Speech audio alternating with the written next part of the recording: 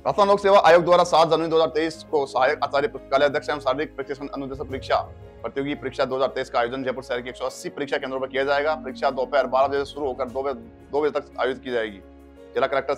प्रकाश राजपूत ने बताया कि परीक्षा की सुचारू एवं सफल संचालन के लिए कलेक्ट्रेट के कमरा नंबर 116 में एक नियंत्रण कक्ष की स्थापना की गई है, जो दिनांक 5 जनवरी एवं 6 जनवरी को प्रातः 10 बजे से लेकर शाम 7 बजे तक एवं 7 जनवरी को प्रातः 7 बजे से परीक्षा समाप्ति उपरांत परीक्षा नियंत्रण कक्ष से संबंधित समस्त कार्य पूर्ण होने तक कार्य करेगा। परीक्षा नियंत्रण कक्ष दूर का दूरभाष नंबर ज़ीरो एक सौ इकतालीस, दो सौ बीस, छियासठ, निन्यानवे रहेगा।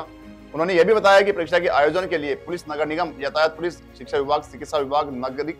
नागरिक सुरक्षा विभाग, विद्युत विभाग, रोडवेज़, जेसीटीसीएल सहित अन्य संबंधित विभागों के अधिकारियों को जिम्मेदारियाँ सौंपी गई हैं।